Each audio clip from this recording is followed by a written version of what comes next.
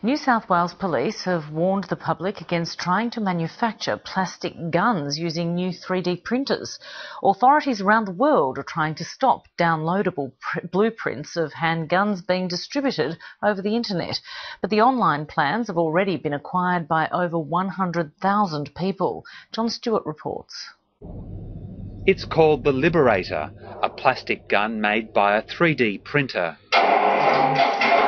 3D printers cost under $1,500 and work by spraying down layer upon layer of plastic to form an object.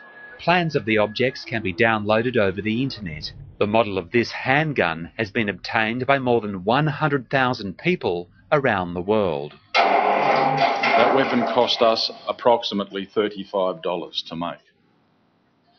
We made that on a base entry level 3D printer. The New South Wales Police today warned the public against making or using plastic guns. Make no mistake about it, not only are these things undetectable, untraceable, cheap and easy to make, but they will kill. It penetrated approximately 17 centimetres into the gelatin block, which is about six and three quarter inches, and that would have been a fatal wound if it was pointed at someone. The police have received information that plastic bullets can also be made by 3D printers and say that making or using a plastic gun in Australia is illegal.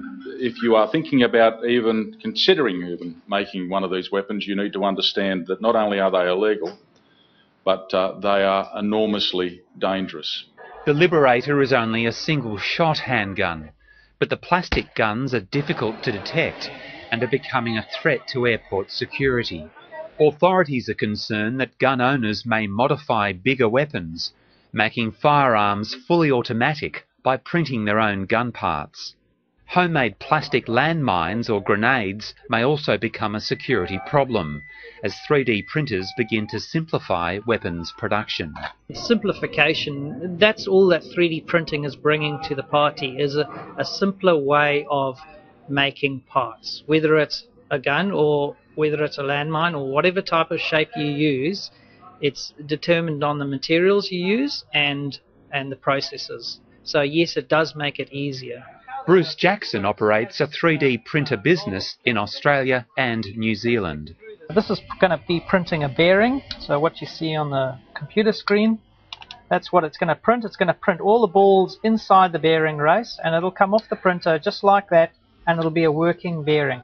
He says the vast majority of objects being made by 3D printers are beneficial to society, from human body parts used by doctors to spare parts for consumer goods. I fixed my uh, dishwasher at home. Uh, plastic clip broken, 10 year old dishwasher. I can't find that part anymore. Just drawing it up, printed it out. Very easy to do, and it's you know, and it works. And it only cost me a dollar twenty to make that part. More expensive are the new 3D titanium printers, which can make complex metal objects. Bruce Jackson says they cost about $1 million. Fortunately, the printers are still too expensive for those in the market for cheap homemade guns. John Stewart, Lateline.